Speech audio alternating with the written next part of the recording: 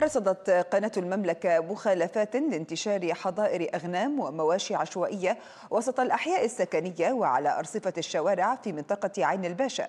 وكانت وزارة الإدارة المحلية قد عممت على البلديات الشروط الواجب الالتزام بها عند تخصيص أماكن لبيع الأضاحي بما يتماشى مع الظروف الحالية جراء أزمة كورونا مشترطة أن تكون مواقع بيع الأضاحي خارج حدود التنظيم.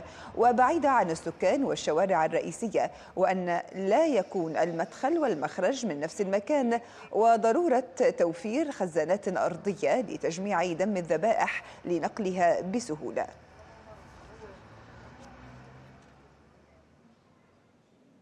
من محافظة المفرق مراسل المملكة أنس الحراحشة. أهلا بك أنس كل عام وأنتم بخير وجميع أهل المفرق والأردن بألف خير. بداية ما مدى الإقبال على شراء الأضاحي أنس؟ نعم زيرالدا حقيقة نحن الآن نقف في أحدى مواقع بيع الأضاحي في محافظة المفرق. هذا الموقع يخصص سنويا لبيع الأضاحي في المحافظة. لغاية الآن الحركة شبه خفيفة في محافظة المفرق. لا إقبال على الأضاحي لغاية الآن. لا نعلم إن كان هناك ارتفاع في الأسعار أم أن الأوضاع الاقتصادية لدى المواطن الأردني هي من تبرر ذلك. كما نشاهد لا يوجد حركة من قبل المواطنين على حظائر بيع الأضاحي. هناك حركة خفيفة جدا في هذا الموقع الذي دائما ما يعج بالأهالي الذين يريدون شراء الأضحيات في عيد الأضحى. بخصوص الأسعار البلدي دائما سعره أعلى من سعر المستورد بفرق يصل إلى 70 دينار لربما. يعني هناك بعض التجار يشكون من زيادة أسعار الأعلاف التي تؤدي إلى زيادة سعر البلدي بينما المستورد لا يحتاج إلى هذه التكلفة العالية من الأعلاف وغيرها.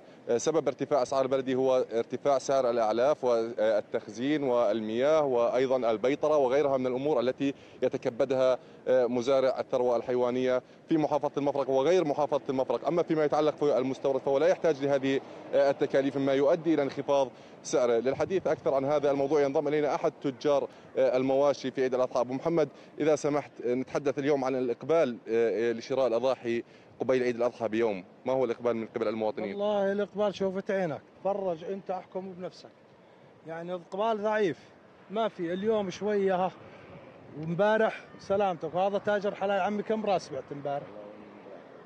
وأنا بعت ثلاث. يعني هن جور نقل هن مية. أنت خزان المي يكون نعبيه بثلاثة ونص واربعة يطلبونه خمسة. كله يرفع كله يرفع. وعلى ظهر مين؟ على ظهرنا إحنا. طب اذا تحدثنا البلدي دائما أغلى من المستورد طبعاً أغلى. ليش؟ السبب. يا عمي طون الشعير بيبيعونه اياه 170 دينار. 175 وهذاك كله برا مش مدعوم من الذرة من الصويا من غيره من غيره. ما مش تكلفة هاي تكلفة. وانت عارف كمان انحشرت الدنيا بخلال الأزمة كورونا هاي. كله علف علف علف. إيش بدك تسوي؟ أحسن. بخصوص المواقع ملتزمين أنتم بشروط السلامه العامة؟ آه طبعا هيك شايف. أقل شبكة بعيد عن الثاني حوالي 20 متر. وبعدين حركة الناس هلا لما تكون مفتوحة الساحة ما يصير ازدحام ما يصير تجمع. أما تيجي البلدية يقول لك بدنا نقول لكم نحطكم سوق الحلال. روح شوفوا سوق الحلال. الغبر التراب لو انك عطشان بدك كاسة مي باردة ما تلاقي تشتريها. بدك تاكل ما تلاقي تاكل وين تروح؟ بدك سيارة رايح جاي بس تاكل وتشرب. هل هناك خلاف على هذا الموقع؟ يعني هذا الموقع سنوي. هل هناك خلاف عليه؟ كل سنة. إحنا بنحط هون. وأجوا قبل يومين ثلاثة قالوا بدنا نعطيكم ذرات ترحلوا قبل العيد بيوم. طيب أنا اللي دافع 100 ولا 50 ولا 200 دينار مي وعمال ونقل احسان مين هذول؟ تدفعهن البلدية أو غيره؟ تدفع مين يدفعهن؟ طيب مين يتحملها؟ وبعدين اللي يبيع له ثلاث أربع روس باليوم شو يربحن معاه؟ خلينا يربحن 20 ليرة، شو طلعنا؟ والله ما بسوى تراب، هاي الناس كلها ثمية مليانه تراب. آه طيب. شاعر ما حدا. لا تتوقعوا يعني أن تزيد الحركة خلال أول يوم؟ الخسران هو الأردنيين بس.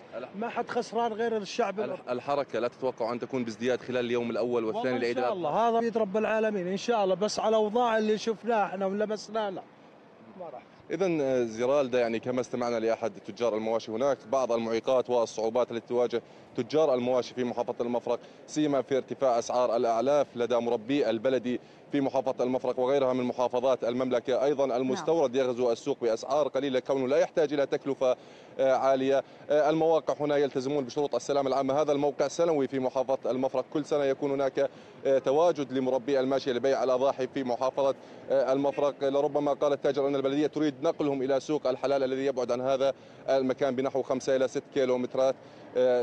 غرب المفرق أو شرق المفرق ولا يوجد فيه خدمات بحسب التجار. إذا الحركة قليلة في محافظة المفرق زرالدا لا إقبال من قبل نعم. المواطنين. قبيل عيد الأضحى بيوم واحد. نتمنى أو يتمنى التجار أن يكون هناك إقبال خلال اليوم الأول واليوم الثاني لعيد الأضحى. نعم أنس يعني من الواضح أن أثار أزمة كورونا ما زالت تنعكس حتى هذه اللحظة. شكرا لك أنس الحرحشة من محافظة المفرق. شكرا جزيلا لك.